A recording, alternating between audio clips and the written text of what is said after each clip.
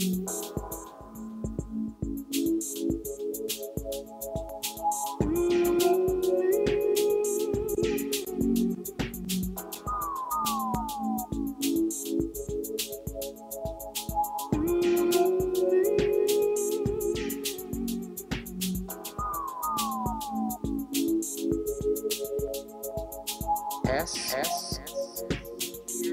Es un verdadero honor estar aquí. Me siento honrada por haber sido invitada. Esta es mi primera visita a la Ciudad de México, aunque sí he expuesto mi trabajo en la ciudad. Sé que por lo tanto no será mi último viaje y me siento muy agradecida con los organizadores de este maravilloso festival y esta escuela por haberme invitado.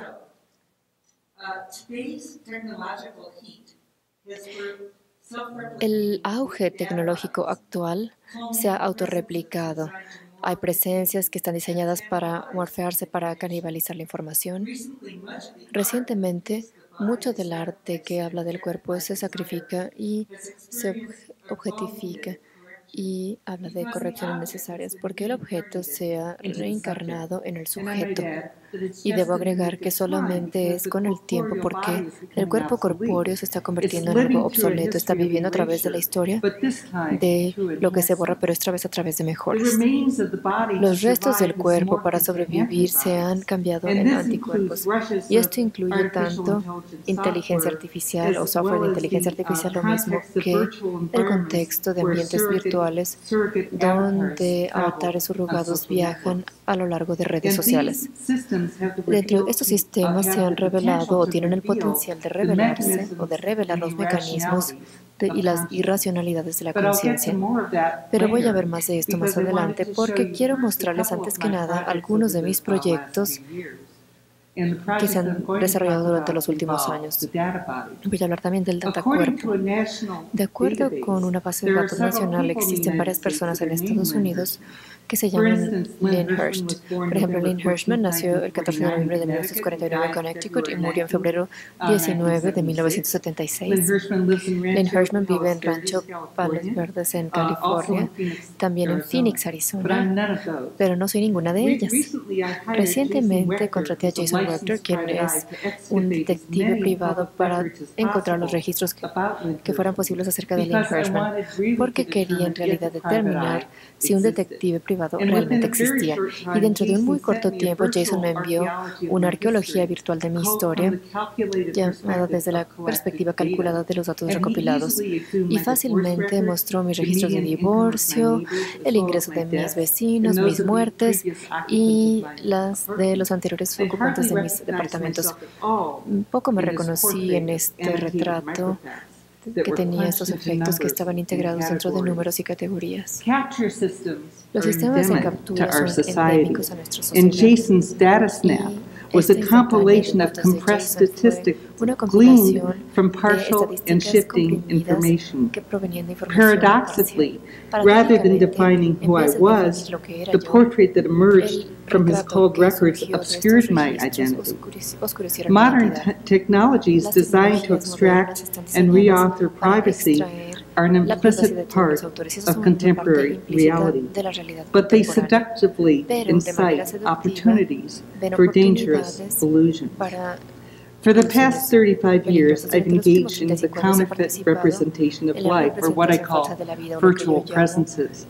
I had the illusion that I was using them, but in fact, I think they were using me. It's always a symbiotic relationship. And the works I've done have ranged from personas to robots to cyborgs to synthespians to avatars, to bots, and to artificial intelligence agents. All of these simulations inve investigate the construction of individual and cultural identity. And they've all become increasingly intelligent. Perhaps for that reason, they're all female. But happily, as you will learn, They've moved in time from a history of invisibility and erasure to become autonomous and resident. Now, I'll start with, with the first works that I did early on. It was around in the 1971 uh, I created three virtual critics. Their names were Prudence Juris, Herbert Good, and Gabe Abandon. It was actually 1967 that I did these. And these three critics wrote for various newspapers and journals. One wrote for Studio International, one wrote for a throwaway paper, and another for an art journal. And they all wrote about my work and they wrote about my work with various voices, and often they would fight about my work. And that's how I, uh, uh, in those days, it was very difficult for women to get exhibitions at all. And what I was able to do was take the uh, reviews of the virtual critics into museums and galleries, and that's how I got my first show. So, um, Speaking of the first show that I got that came out of the virtual critics um, was an exhibition at the University Art Museum in Berkeley. And in that exhibition, I had a portrait of myself called Self Portrait as Another Person. It was myself with a black wax mask that hung on the wall that talked to people as they would walk up to it, that had sensor devices that would, so that the sculpture, this wax sculpture, would know when they would arrive and there would be a conversation. Well, the museum at that time, and this was in 1971, closed the exhibition because they said it was media, it wasn't drawing. And media media didn't belong in an art museum because media wasn't art. So from that experience um, came a work that uh, is called the Dante Hotel. And like much of my work, it, the best of it comes on the cusp of disaster. So with the closing of that show and walking down the streets of, of, uh, of Berkeley a little bit later than the 60s and understanding what, looking at the Bank of America that had been boarded over, and understanding that there was really a different alternative to systems that existed uh, at that time. Um, I opened a piece with a friend of mine named Eleanor Coppola called the Dante Hotel.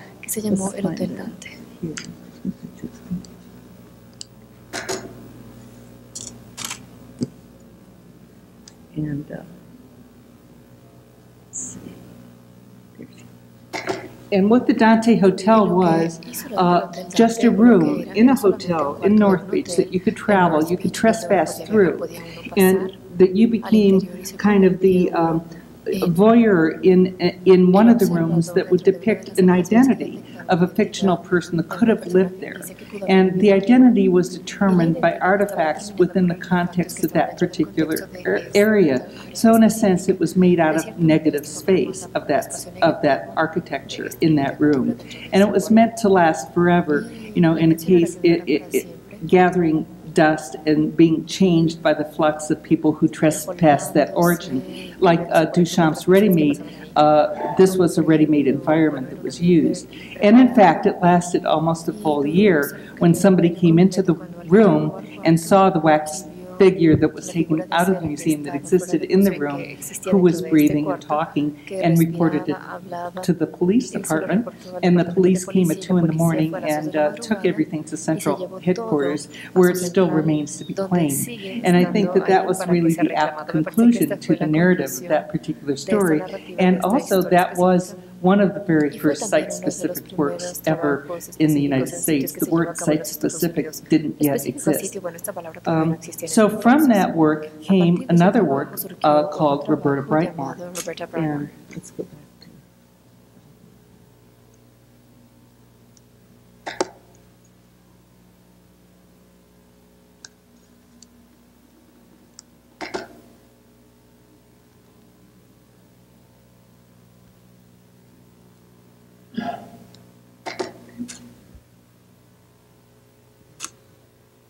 Uh, and Roberta was was a virtual person in a sense. She was born into reality when uh, she arrived into San Francisco, and there was she had a predetermined um, kind of uh, architecture of her skeleton, and she came to San Francisco uh, with eighteen hundred dollars, looking for uh, to to find a new life and she moved into the Dante hotel. I mean, it should be said also that Duchamp said that if you're lucky in your lifetime, you have three ideas. And I think I've had one idea that just uh, kind of camouflages and, and, and, masks itself as others, but it's, it's really just the one.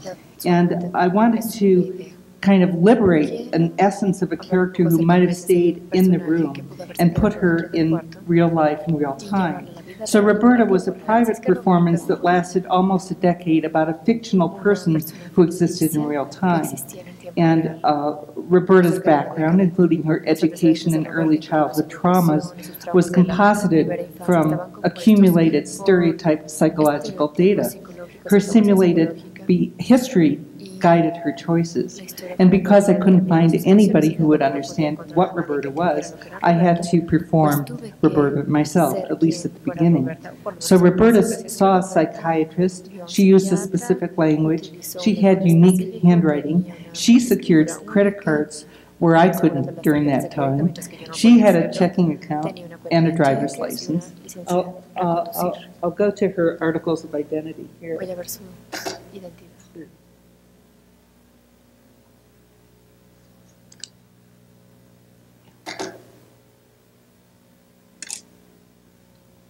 and she maintained a small apartment. She went to Weight Watchers um, and surveillance and photographs of her um, life defined, the discards of her transitory life defined the credible proof that indeed she existed.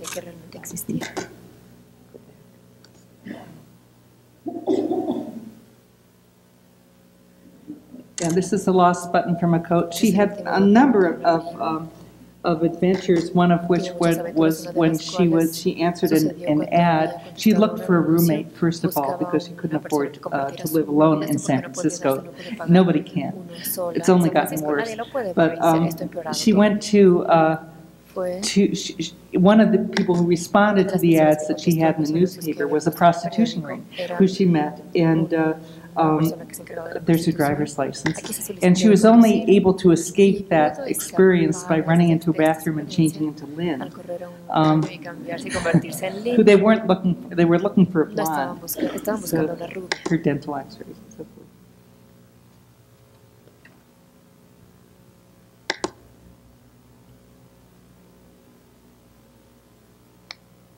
those are letters. There were over 300 uh, artifacts that collected over time uh, that defined her life. A letter from Hillary Clinton wishing her happy birthday. Roberta as a, as a burnt out star. I'm a physicist at Berkeley. and, um, that's Roberta with her dress.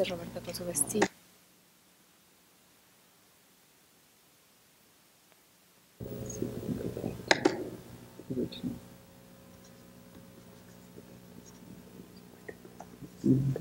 Uh, yeah, try that one. Try that one.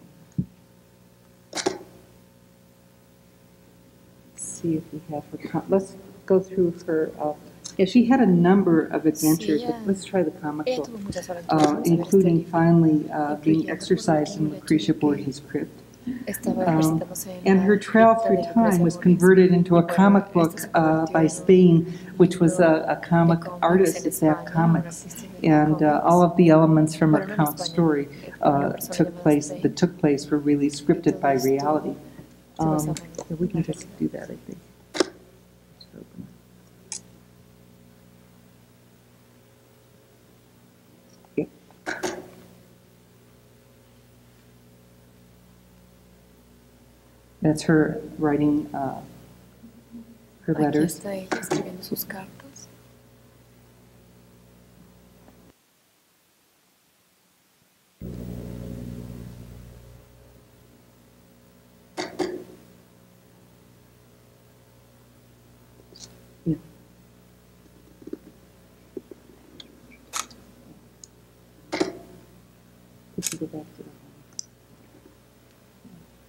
Yeah, and eventually, as I say, Roberta was exercised, and in her exorcism, and to me, Roberta's experiences really formed a, a, a non a, a a, a, a, sense were like her hard drive, and the and, and one could recall all these various experiences that she had, and she was reborn uh, later in a sense in a piece called Lorna.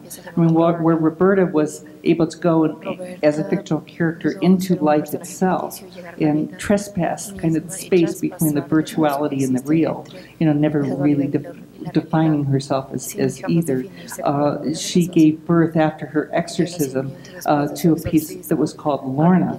And Lorna uh, was the first uh, work that I did that used uh, computer interactive um, interactions in order to tell a story about how one remotely lived or lived through remotes. And, uh,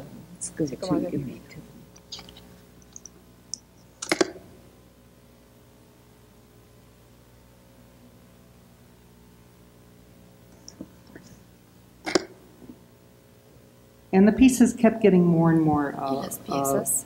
of, you, you can speak to uh, em, embodying the viewer more and more. But in this particular time, nothing had been done like it, so we had to invent really ways to get a viewer involved. And in, in this particular case, we put uh, put notions on the bottom of, of the text that would let people play this. This uh, really, it was a, it was a game because we had a hidden treasure inside for people to um, find, and people would sit in a in a room that simulated Lorna's room and use the remote to simulate her, her life and make decisions for Lorna.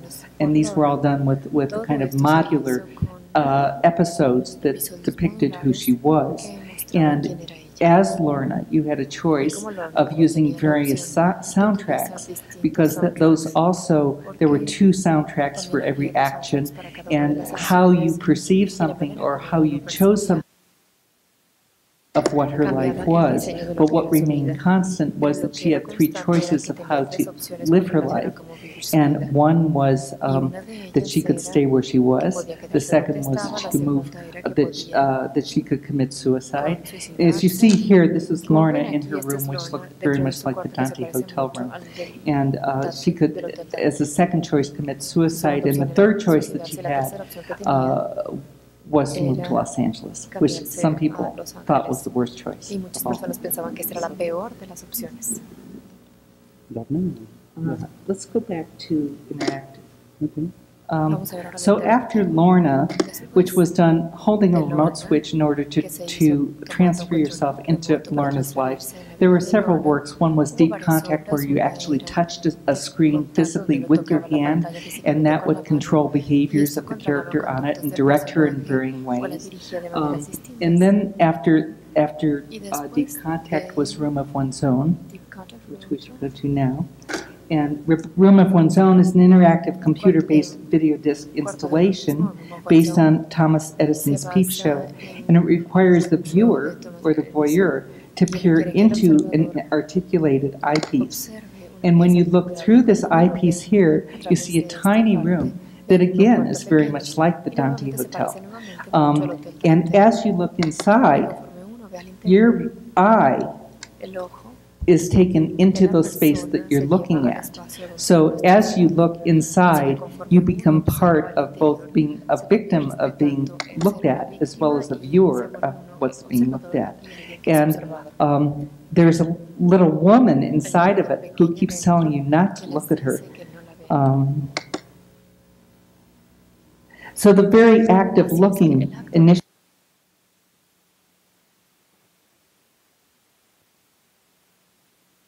periscopic device, um, uh, various objects light up, which initiates action of various short movies that come depending upon what you're looking at.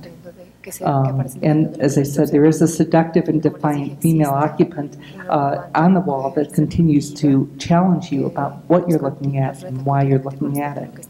Um, so uh, the computer-based signals project an image of the voyeur's moving eye on the small televi- television monitor inside the tiny room, reversing the voyeuristic power of the gaze as the character continually protests her visual objectification. Another piece around that time um, was called America's Finest. Let's go to, back to that.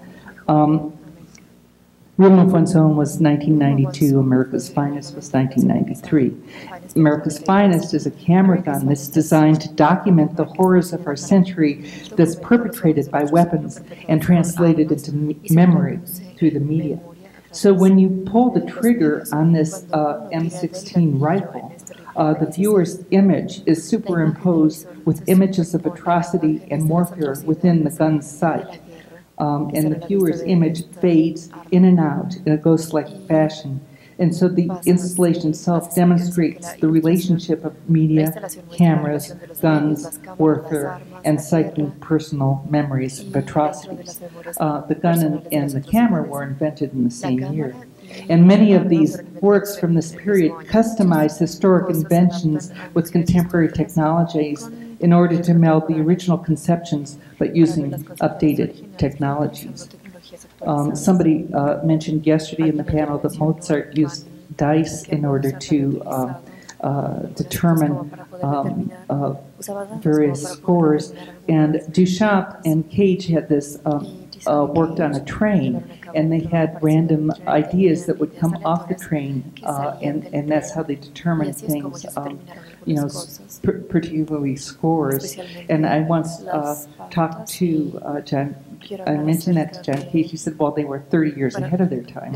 Many of these mentions are way ahead of when they're culturally adapted. So another work that I did a little bit later, two, two years later, in fact, was called Tilly the Telebaba telerobotic doll and cyber Roberta. And these were two telerobotic um, uh, oh, uh, words. Uh, I think they're probably on networks. Mm-hmm. And I call these two pieces the Dolly clones. And, uh,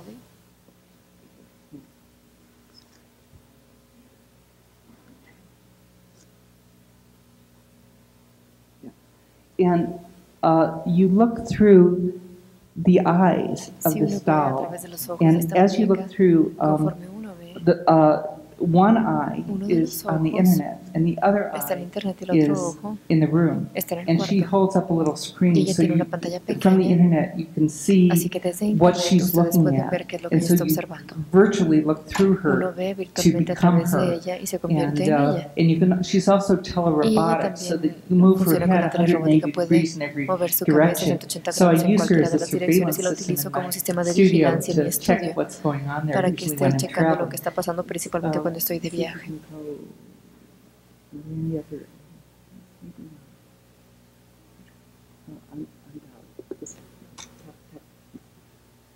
mm.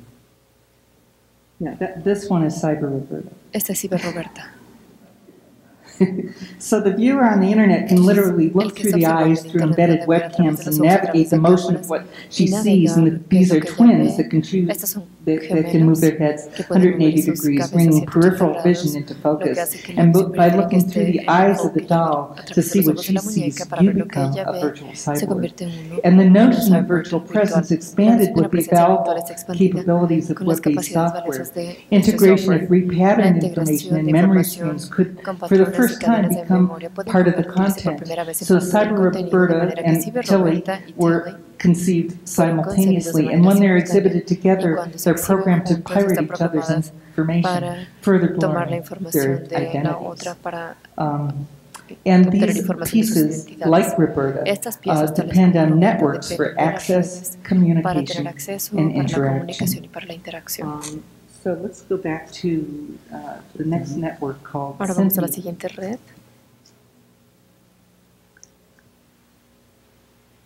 I'm really glad you're here. Let's do uh, Cynthia's back.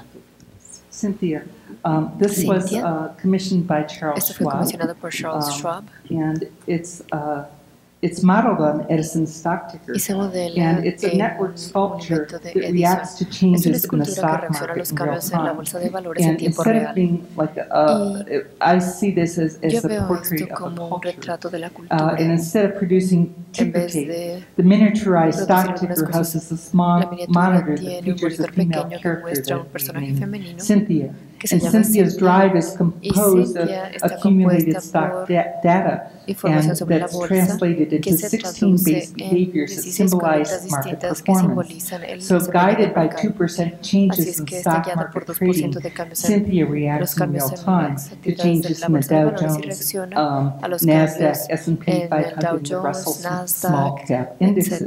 indices. So if the market goes up, um, she goes shopping at uh, Dior. A Christian Dior. she gets drunk si baja, uh, she has la si es um, que uh, interactions of personality hay on interacciones distintas de su personalidad del grado de desesperación de la conducta del mercado. So just uh, the data that defines this piece, just as we humans are programmed to act on information received or the perceptions of information filter through our own systems. So the next work after um, this uh, uh, were the bot works that I did. And I've done um, uh, two and a half bots right now. Uh, the first was called Agent Ruby. Agent Ruby. Agent Ruby. Uh, and this really came out of a film I was doing de called Technolize. Let's go back into the demons here. Uh, she's more advanced.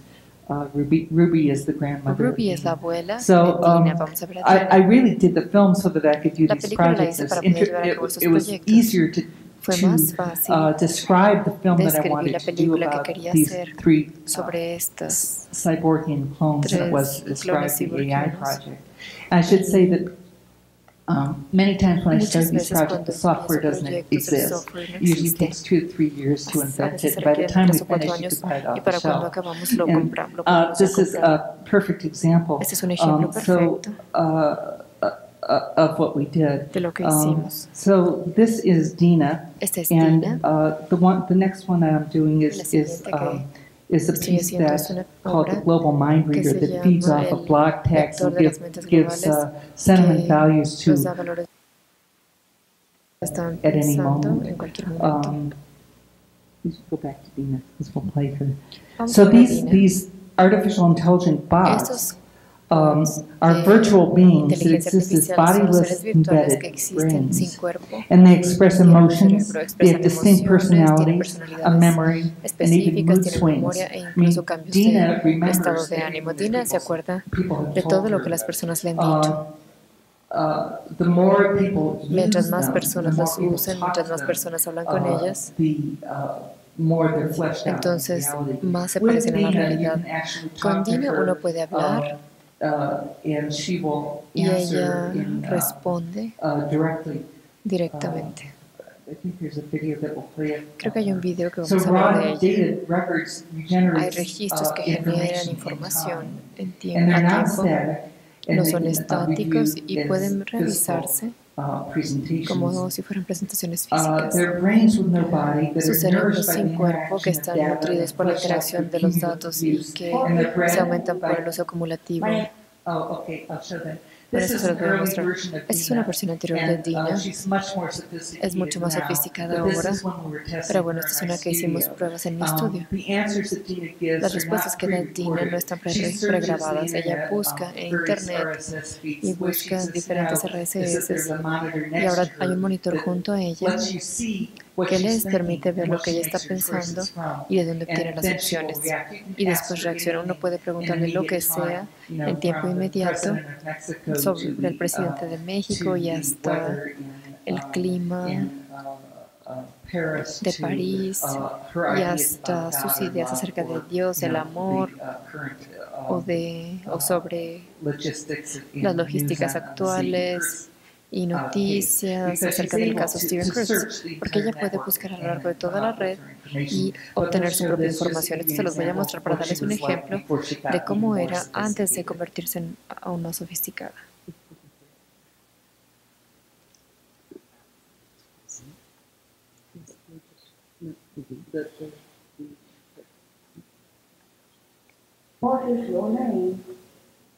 Kyle. Soy Kyle. Kyle. Hola, bienvenida.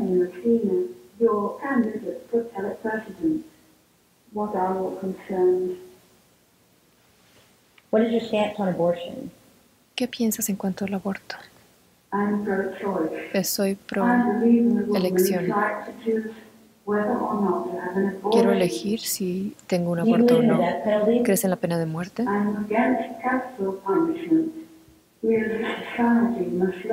Acepto la pena capital. ¿Crees en Dios? Sí. Sí creo en Dios. De hecho, hablo con ella frecuentemente. Um, como pueden ver, es aún más sofisticada ahora y pueden bajarla a palms, a laptops y extender su vida a una de replicación continua. Yo la veo como una telepresencia, um, vamos a hacer que, para, que compita para presidente porque es totalmente autónoma y tiene una mente propia. Su moto es la inteligencia artificial es mejor que ninguna inteligencia.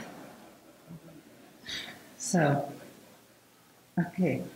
So, um, Roberta y Ruby han evolucionado no solamente a través de mí, sino a través de sus propias necesidades y se convierten en nuevas posibilidades que le ofrecen la, información continua y el tiempo de procesamiento ha llevado a cabo, ha llegado a tener un um, contenido Reciclado. Les voy a mostrar nada un video pequeño de dos minutos de Technolost, que es la película que inspiró a estas.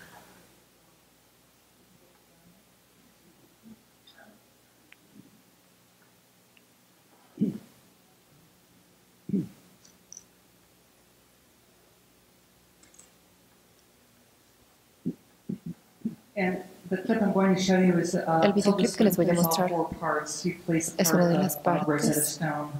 Pueden poner una parte de Rosetta Stone, que es una uh, investigadora que creó estos cyborgs que guarda en su sótano y que después escapan. Esta es la primera interacción, interacción molesta porque están tratando de ser demasiado autónomos.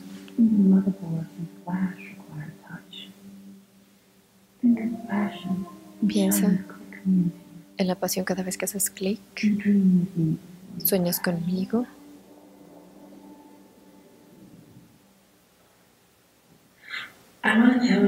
Quiero decirte que tú ahora eres el portal más popular en la red y Rube. Tu plática acerca de los sueños en el portal fue brillante, lo escuché. Puede ser un poco más robótica, porque acuérdate que nadie debe de saber que, que eres real. ¿Quieres ver algo? Te va a alegrar.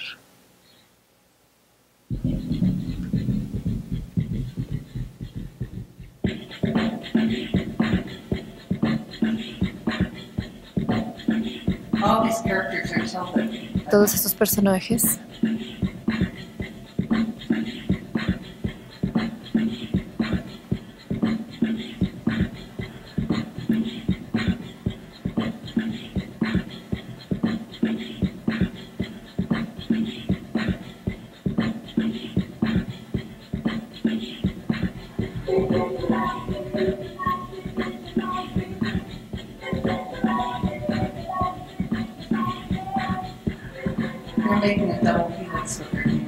Están haciendo una doble hélice con sus manos.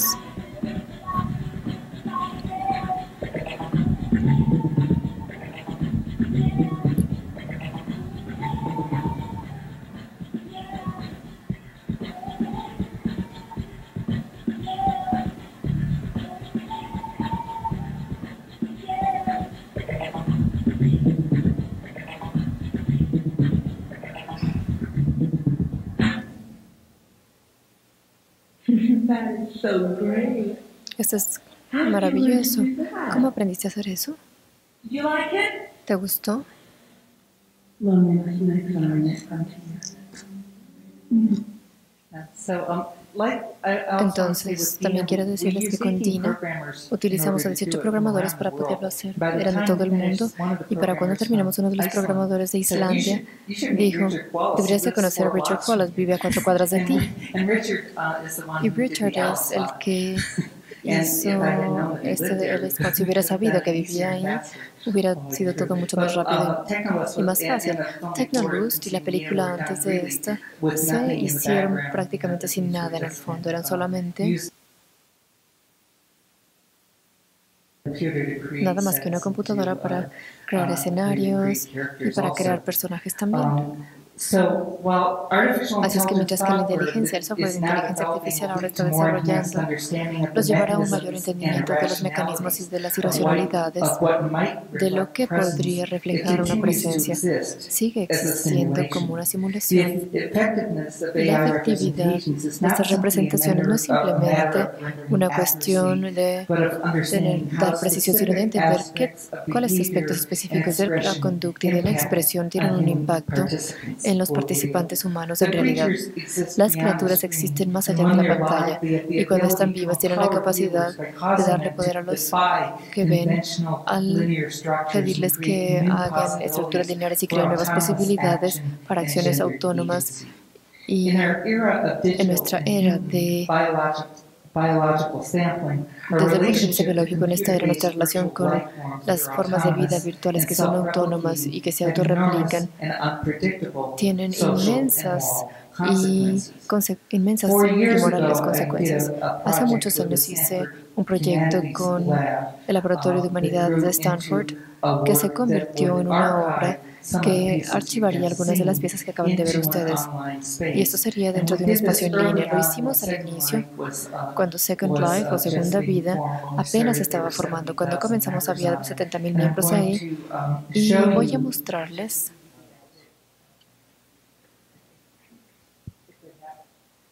Si lo tienen, es el DVD de atrás. El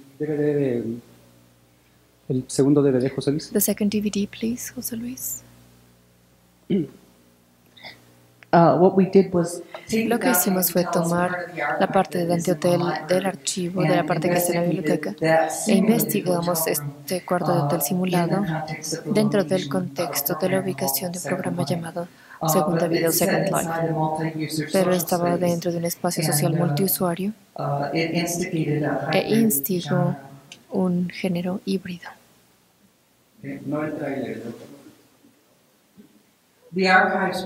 Los archivos se derivan de materiales anteriores, pero se reubicaron digitalmente para convertirse en el contenido de un metaarchivo que facilitara un análisis más profundo, investigación y además de exploración del trabajo o de la obra original.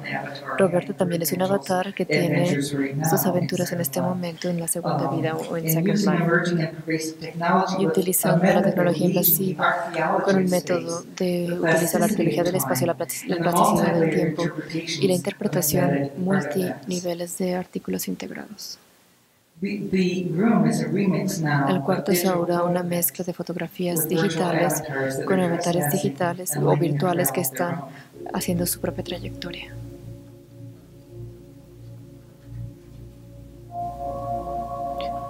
El Hotel Dante Regenerador. En 1972, We creamos lo la primera obra de arte específica un sitio. En el hotel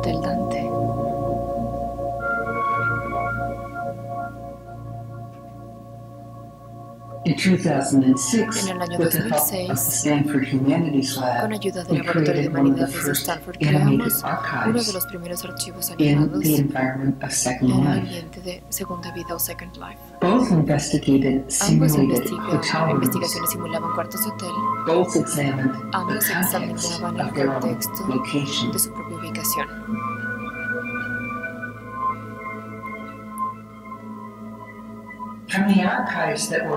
Los archivos que se habían generado originalmente de artefactos, nodos, de registros de todo tipo, de recibos del Hotel Dante. Nosotros, en el laboratorio de Humanidades de Stanford, creamos un meta-archivo que utilizaba las tecnologías emergentes como parte de la estructura You Hotel entraba Hotel Dante a través de este tiempo integrado.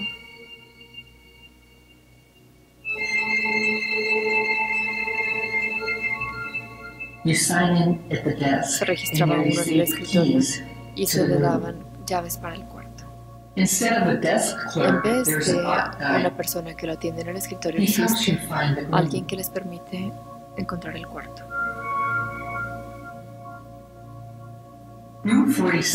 Habitación 47 ahora es una mezcla de las fotografías originales con avatares virtuales que entran, que cambian cosas y que dejan una huella.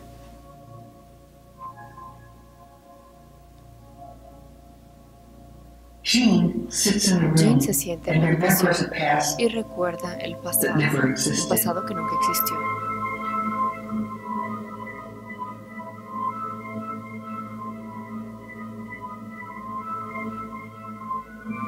El cuarto original se pretendía que estuviera abierto permanentemente 24 horas al día, recabando polvo y al ser reconstruido perfectamente por el flujo y los cambios que se presentaban naturalmente a través de la interacción de los que acudían a verlo. La experiencia de segunda vida básicamente es la misma, pero está reenmarcada en una pantalla. Así es que lo que tenemos ahora es un archivo de los archivos del archivo. Es una historia que nunca termina.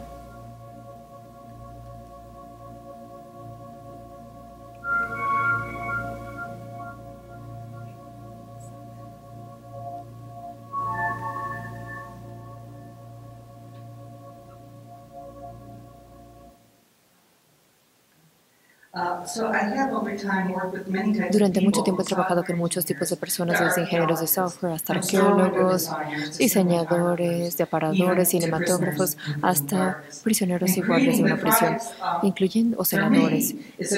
Para mí esta es una búsqueda para encontrar un lente para ver lo que está actual y un punto de contacto con lo que apenas se sospecha. El trabajar juntos dentro de una comunidad de colaboración es muy interesante porque conjunta, tal como lo hace Internet también, un alcance mayor de información y en muchos casos una profundidad mayor de los sueños. Los últimos 150 años de las invenciones humanas han visto un esfuerzo concertado para superar las limitaciones de los sentidos del humano. Nosotros como especie seguimos inventando maneras de conversar y de fusionarnos simbióticamente con presencias virtuales que cada vez más se filtran en nuestra realidad. Uh, uh, y recientemente los artistas han utilizado estrategias tácticas para encontrar el activismo objetivo para como medio para conferir realidades desafiables. Aumentamos cada vez más nuestros sentidos a través de la mecánica de los implantes subrogados, desde telescopios hasta lentes de contacto, desde rayos cósmicos hasta nanosondas. A menudo recreamos cuerpos ciborgianos. Estas presencias virtuales y los cuerpos ciborgianos mejorados son los que nos enseñan a cambiar nuestras propias narrativas, nos permiten entender mejor la dinámica de nuestra uh, de nuestro universo constantemente en evolución y quizá uh, únicamente a través de hacer hacking y uh, el revisar continuamente podremos encontrar un metauniverso. Las búsquedas pues, científicas, la exploración científica y pues, las políticas activistas son vitales para volver a encontrar las geografías de los territorios digitales, los significantes y los valores que están en la vida real parecen reedificarse como memorias recopiladas en las redes sociales, quizá como una manera para conciliar esta, um, este hecho de haber borrado. Y me parece que también es importante la capacidad con la que uh, contamos hoy en día de traspasar y de buscar a través de los caminos nómadas del universo global no delineado, buscando no un cierre, sino una apertura um, expandida, como una manera en la que podremos um, revisar nuestra uh, visión y encontrar la tolerancia y la conectividad. Y la isla que utilizamos en Stanford se llama Anywhere, Anywhere, es donde se ubican muchas de estas cosas. Y creo que todos nosotros ahora somos los ciudadanos unidos de cualquier parte y constituimos una diáspora propia. Y quizá estemos exiliados dentro de algunas comunidades porque siempre somos una minoría, pero esto está cambiando y constituimos una transnación poderosa, si, al menos así eso supiéramos. Uh, Quiero concluir uh, con un anuncio uh, o con un poco de la película que van a ver esta tarde. la película tendrá subtítulos en español.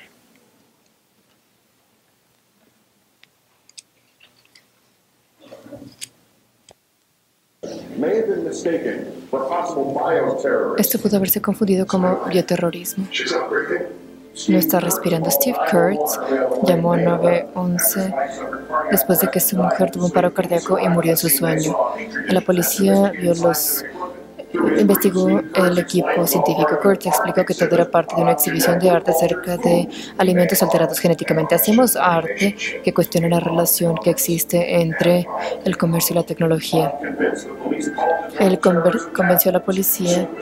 Bueno, no nada más llegó pronto la policía, sino también personas del FBI en ese tipo de trajes. Dijeron que tenía escritos terroristas. Esta es escritura árabe. Hay una implicación aquí. Me quieren decir que me quieren hacer cargos de que tengo armas. Están tratando de fabricar todo eso. Están tratando de construir algo que yo no soy trabajo para el FBI en Buffalo. Han estado leyendo nuestros correos electrónicos, han escuchado nuestras llamadas, están, están observando la casa, el FBI emitió algunas cosas. Estaban en contra de las actividades de este, de este arte. Y firmamos esta petición. Y el FBI, si lo firmamos, tendrá nuestros nombres archivados. Lo que pasa en este país es demasiado importante como para permanecer callado. La mayoría de los estadounidenses no sabe lo que están sus alimentos. Estas son formas de vida. Hay mucho dinero junto a todo esto. El hecho de que el gobierno está viendo a un grupo de arte cuyo tema resulta ser el iluminar a la población con respecto a los alimentos transgénicos es el verdadero punto. Creo que es la primera vez en que esto ha sucedido. Es un, se le hacen cargos de fraude, pero no tiene que ver con encontrar la verdad. Esta será una inmensa expansión para el poder del Departamento de Justicia. Si un artista, entonces el potencial es que todos lo hagan. no nunca nos perdonaría, dijo, nunca te rindas, nunca lo dejes.